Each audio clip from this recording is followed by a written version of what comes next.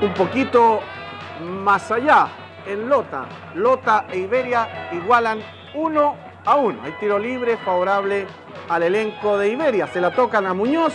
Hay una falla del arquero Montes. 1 a 0 Iberia sobre Lota Schwager.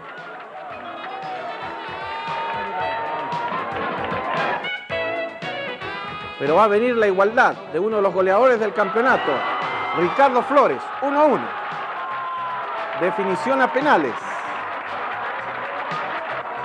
Y Lota se impone por 6 penales a 5. Este es el penal definitivo.